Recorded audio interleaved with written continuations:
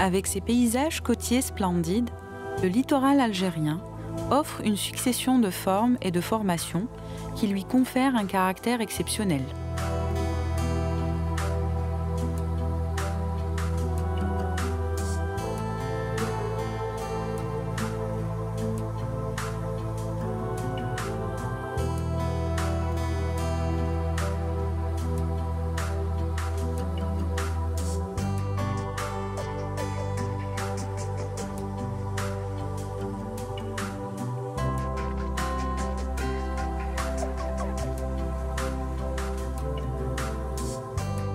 Le long de près de 1600 km de côte se succèdent des plages de sable, des plages de galets, des côtes rocheuses et des criques d'une rare beauté. Pratiquement toutes les formes littorales connues en Méditerranée y sont rencontrées.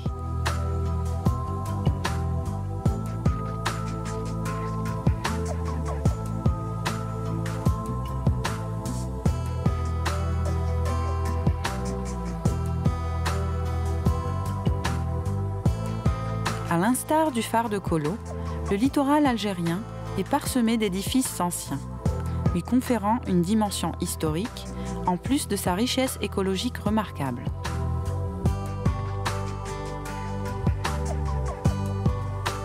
Les falaises littorales abruptes constituent un paysage côtier unique et couvrent près d'un quart du littoral algérien.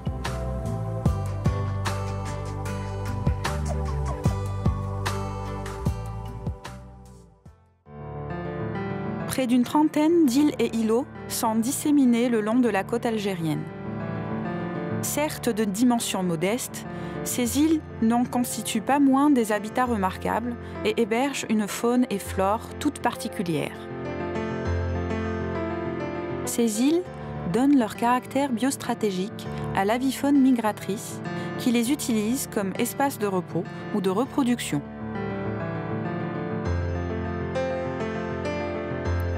Les îles Abibas sont le milieu insulaire le plus remarquable de l'Algérie. Première et unique aire marine protégée au niveau national, cet espace a accédé au statut de réserve naturelle marine en 2003. Depuis 2005, ce site est considéré comme aire spécialement protégée d'importance méditerranéenne.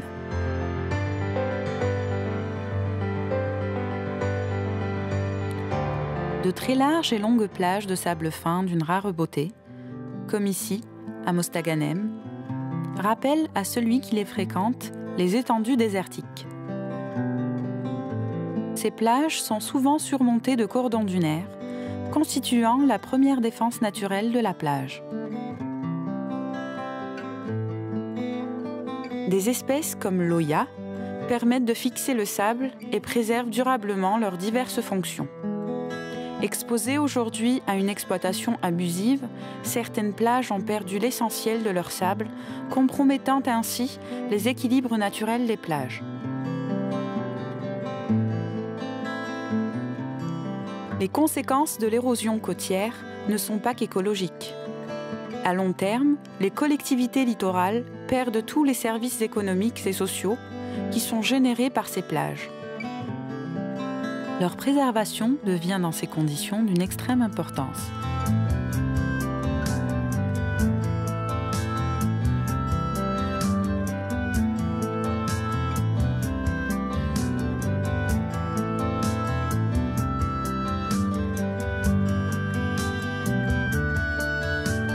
Les trottoirs d'Avermé, appelés aussi terrasses d'Avermé, sont en réalité un écosystème particulier et une formation qui se raréfie en Méditerranée.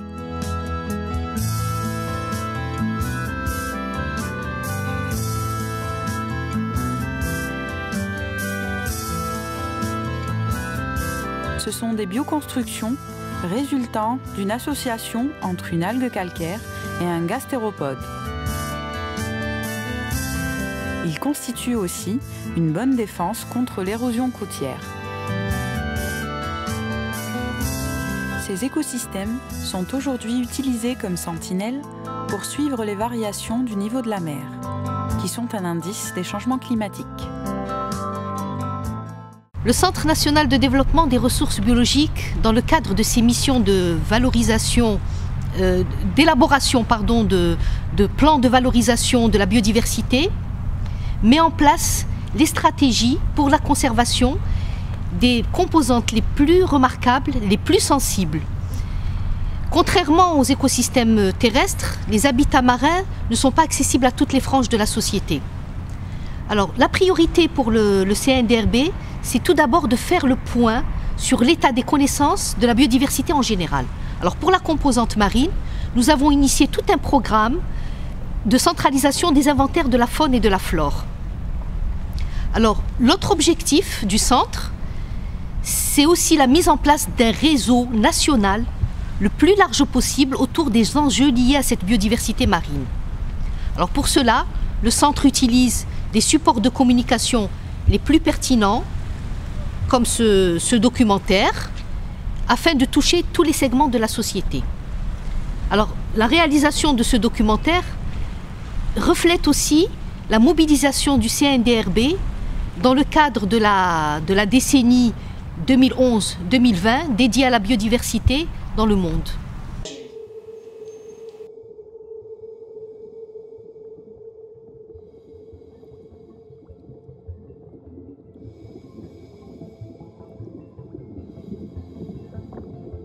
Les saupes sont des phytophages. Elles appartiennent à la famille des sparidés, mais sont considérées comme des parents pauvres des autres espèces du groupe au régime plutôt carnassier, excepté quelques taxa, comme la bogue.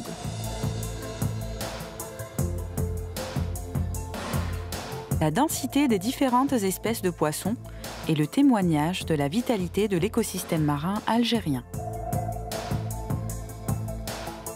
De nombreuses et diverses espèces cohabitent et arrivent encore à optimiser les disponibilités alimentaires et spatiales, et cela malgré les nombreuses et multiples pressions qui s'exercent sur les milieux et ses ressources.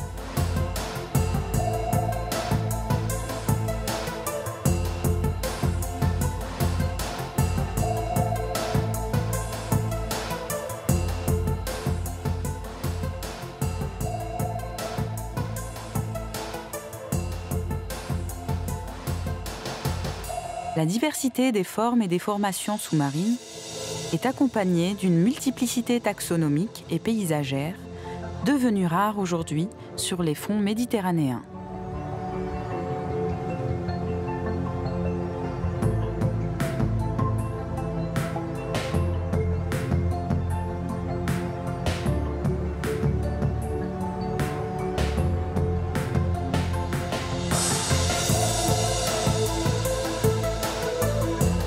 Les champs de gorgogne blanche constituent un faciès très apprécié par de nombreuses espèces communes en Méditerranée, comme les castagnols et les girelles.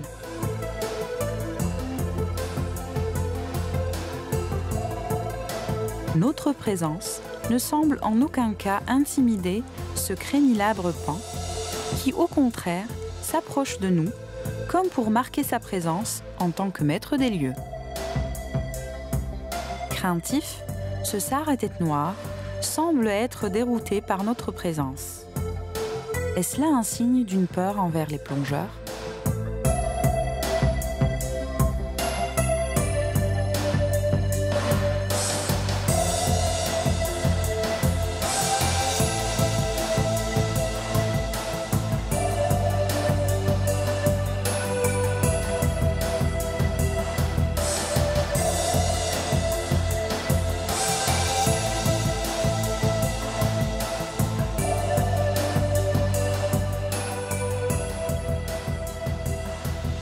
De la côte algérienne méditerranéenne sans citer une espèce à qui on a attribué tous les qualificatifs Posidonia oceanica est tantôt citée comme espèce remarquable, espèce symbole, espèce clé.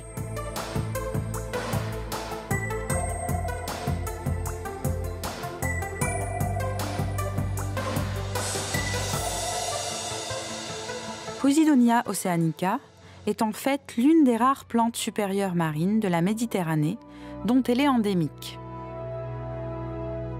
Seules les côtes australiennes hébergent huit autres posidonies, du même genre, mais des espèces différentes de l'espèce méditerranéenne.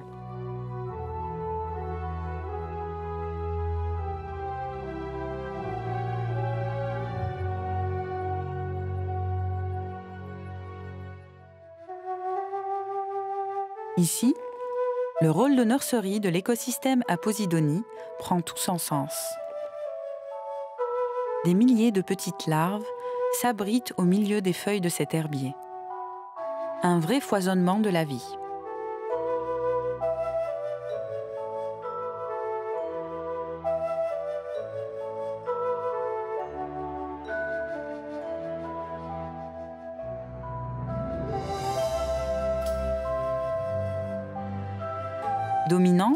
La Posidonie partage la frange côtière avec d'autres espèces végétales, moins symboliques, mais non moins importantes pour les équilibres écologiques.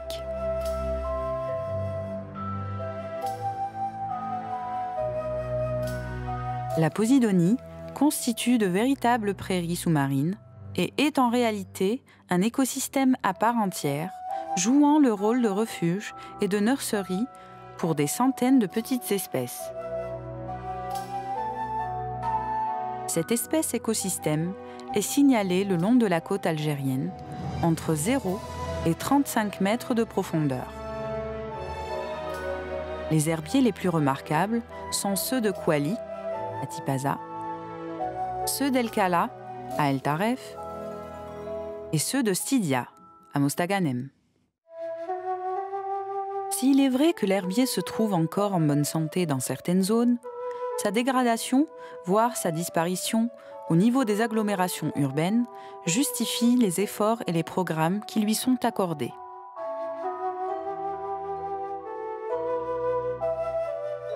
Contrairement à ce qu'on croit, les fonds sableux, appelés aussi fonds meubles, abritent certaines espèces qui sont accommodes et qui y trouvent les éléments nécessaires à leur survie et à leur développement.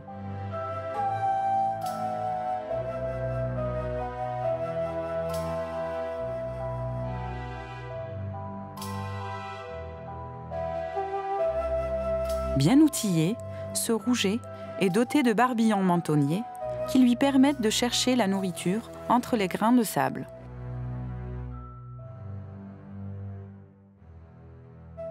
D'autres espèces, comme la vive, arrivent à se camoufler de manière extraordinaire sous le sable.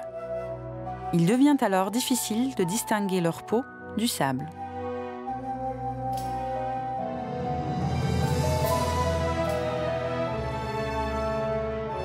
Le coralligène est une construction biologique naturelle assurant un rôle essentiel dans les équilibres écologiques des fonds rocheux, situés entre 10 et 120 mètres de profondeur.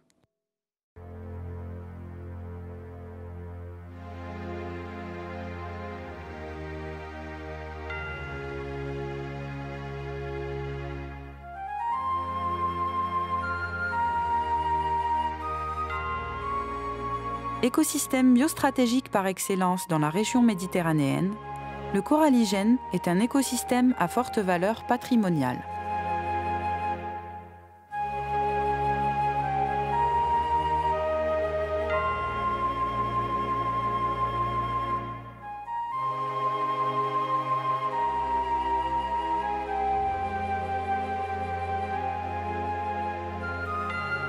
Ce biocompressionnement aboutit à la formation de structures biogènes spectaculaires, constituant des paysages remarquables.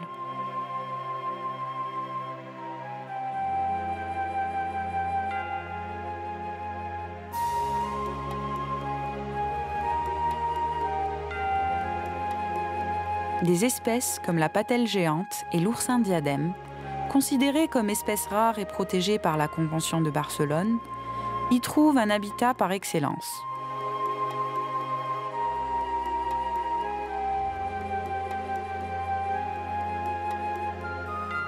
malgré son rôle d'habitat particulier pour différents taxons, tels que les murinidés, les labridés, les sparidés, les céphalopodes et bien d'autres, et vu son intérêt écologique certain, l'écosystème à coralligène demeure très mal connu en Méditerranée et particulièrement en Algérie.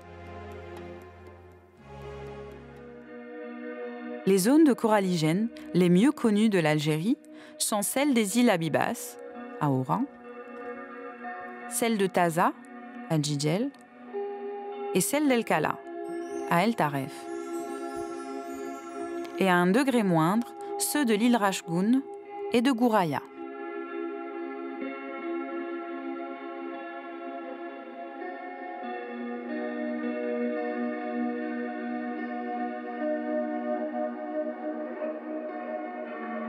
Les céphalopodes fréquentent communément les fonds rocheux et les plateaux de coralligènes.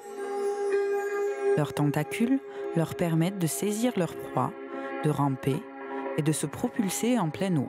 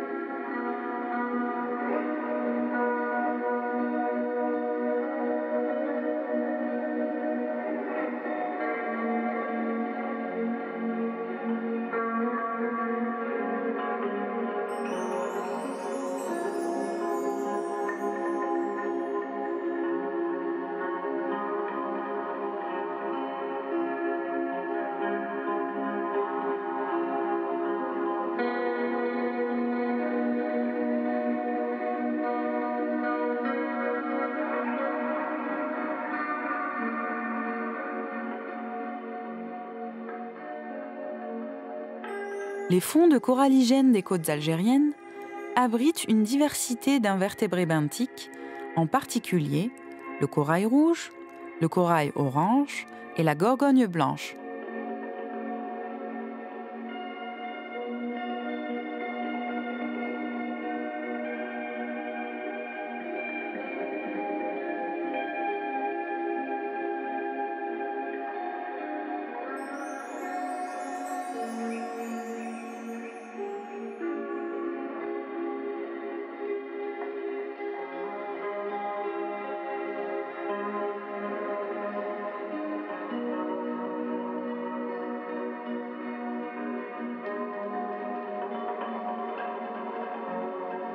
Le corail orange, Astroides calicularis, est un paysage caractéristique des secteurs les plus chauds de la Méditerranée, notamment de sa partie sud-occidentale. Très abondant sur les tombants des côtes algériennes, ce corail n'est plus rencontré à l'est de la Méditerranée, à partir des côtes maltaises. Au nord, sa limite semble être Murcia en Espagne et Naples en Italie.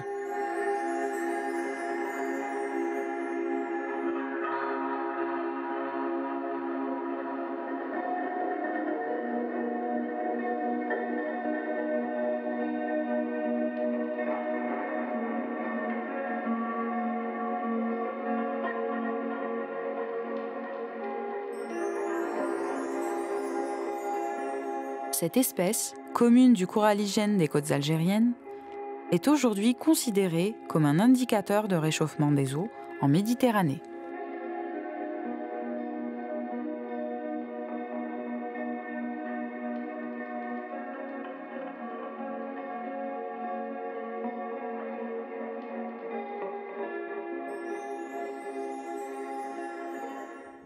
Les séranidés, poissons de mer chaude, vivent près des côtes rocheuses. Certains gros spécimens se déplacent dans les eaux profondes jusqu'aux limites du plateau continental.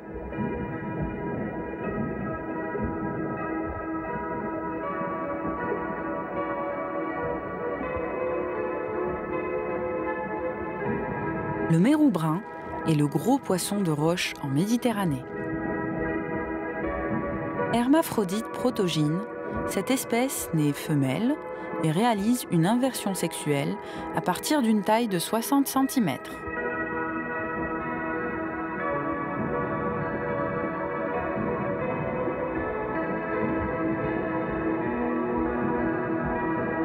Le mérou brun a besoin d'une température des eaux autour de 25 degrés Celsius pour réussir sa reproduction, soit celle souvent rencontrée de juillet à début septembre sur les côtes algériennes.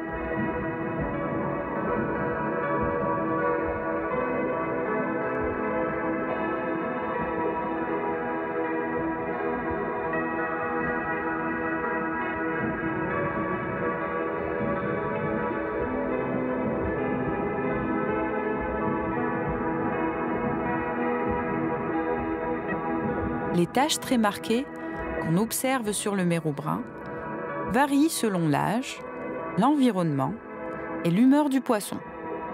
Espèce très prisée, le mérou est exposé à un braconnage intense. Autrefois, très commun sur les fonds rocheux, l'espèce a tendance à se rarifier ces dernières années. Sa vulnérabilité a fait réagir gestionnaires d'aires marines protégées et spécialistes divers groupes travaillant sur le Mérou se sont mis en place en Méditerranée et sa protection est devenue une priorité.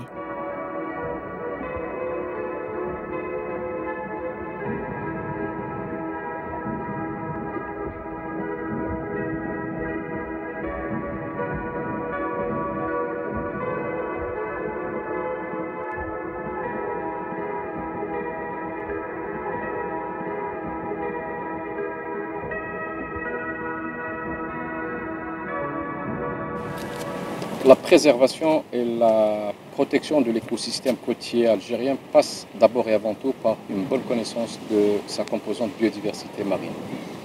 Malheureusement, les données et les informations dont on dispose aujourd'hui sur cette biodiversité marine restent très incomplètes, disparates, localisées et fragmentaires. Elles sont le plus souvent le résultat d'initiatives ou d'études très sporadiques. L'écosystème côtier algérien euh, est exposé à, diverses formes et sources de euh, dégradation et de déséquilibre.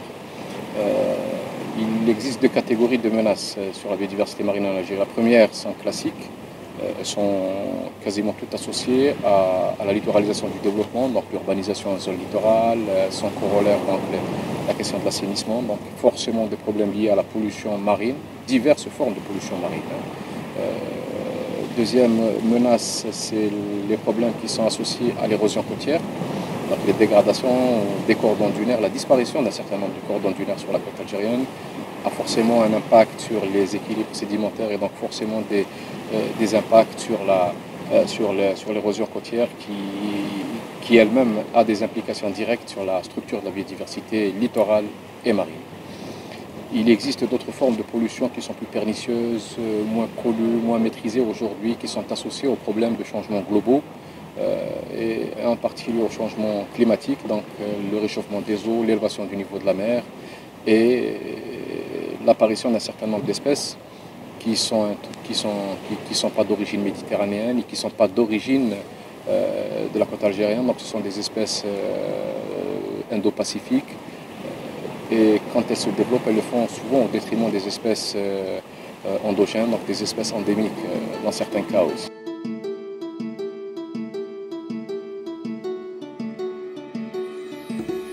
Tous les indicateurs montrent aujourd'hui que les processus de dégradation, qui se sont accélérés au cours de cette dernière décennie, n'ont pas encore atteint des seuils d'irréversibilité.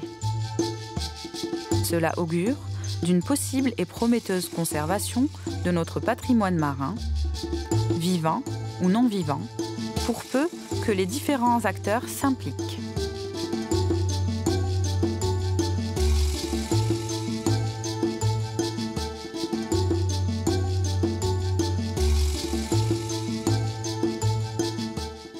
Malgré les multiples et diverses formes de, pollution et de dégradation de l'écosystème côtier algérien, en particulier à proximité des grandes agglomérations côtières et littorales, euh, cet écosystème a maintenu quand même dans une large mesure euh, beaucoup de processus écologiques euh, d'intérêt méditerranéen. donc un certain nombre d'écosystèmes considérés comme parmi les plus remarquables en Méditerranée persistent encore et dans de larges proportions sur le littoral algérien. Je pense aux herbiers posidonie, je pense aux coralligènes, les fonds d'éboulis, des, euh, des fonds de mer, des trottoirs à vermeer, donc tous ces habitats tout particuliers d'une extrême sensibilité sont encore bien représentés sur la côte algérienne, mais pour combien de temps encore?